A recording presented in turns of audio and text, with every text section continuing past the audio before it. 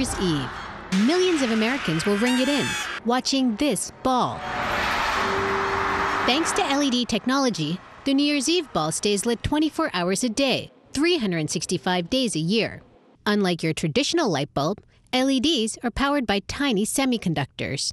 Because there's no glowing or hot filament, LEDs use one tenth the energy of traditional light bulbs and last much longer. You could buy a product today and put it in your baby's room, and uh, when they go off to college, you probably still have it burning because they're going to last for 25 years. Other benefits of LEDs durability, deep color saturation, natural looking light, very similar to the traditional incandescent bulb.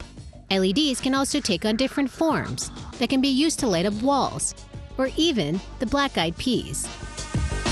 But all those benefits come at a price. LEDs are on average 15 times more expensive than incandescent bulbs. Even though LED prices have been coming down, consumers still need the extra push to make the switch. Until you start to explain the the overall cost and effectiveness of the bulb, time and money is just it's a, it's they they look at it and then they understand the, the change. Here's what that means.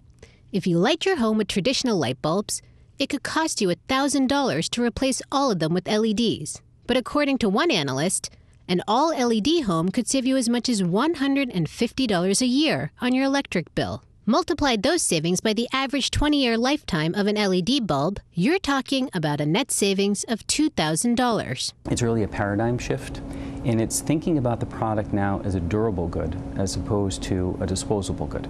And Americans are getting the message. LED sales over the last three years have roughly doubled every year. Today, LEDs represent about 10% of the total lamp market or the lighting market.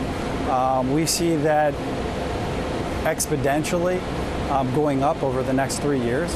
Um, we see it, uh, our, uh, what we see is that it will get up to 50% of the lighting market over the next three years.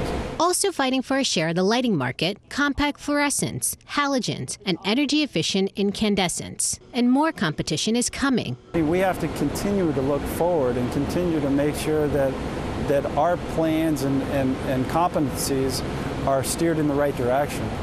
Um, and it's going to be a competitive space, clearly. The only thing for sure Thomas Edison's 131 year old bulb is becoming a dimly remembered relic. Sheila Dharmarajan, Bloomberg, New York.